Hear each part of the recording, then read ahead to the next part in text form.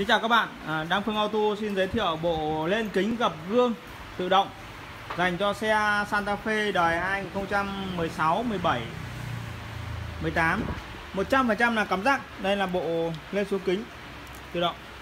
Cắm rác Đây là toàn bộ rơi cắm rác Đây là hộp điều khiển anh chị nha. Đây là hộp điều khiển. Hộp điều khiển. Bây giờ em tiến hành ờ, sau khi tháo tắp đi cửa ra rồi Thì em tiến hành cắm rác. Ok, giờ bắt đầu em cắm. Đây, chúng ta chỉ cảm giác chuyển đổi. Cắm tiếp theo motor lắp motor.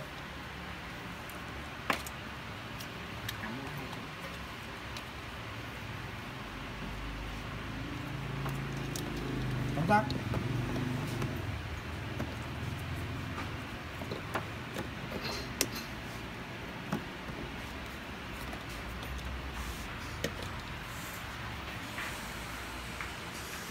chỉ như vậy thôi. Mà đi đi ok. Đấy, bây giờ chúng ta tiến hành à, lắp đặt tắp lô vào.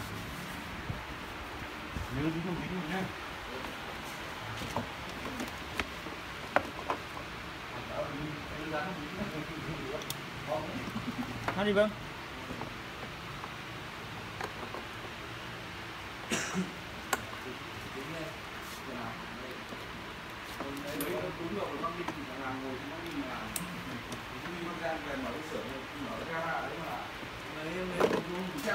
Đấy, sau khi ờ, có tín hiệu ờ, khóa cửa thì ngay lập tức là các kính sẽ đi lên.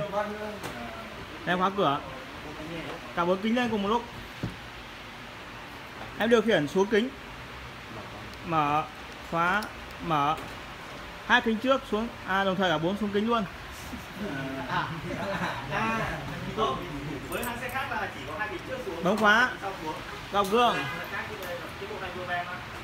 Bấm khóa. Lên kính. Rất tuyệt vời, đúng không ạ? Sản phẩm 100% là cắm rác ăn ngay, tăng phương auto em điều khiển xuống kính này, hé kính này. Khóa, mở, khóa.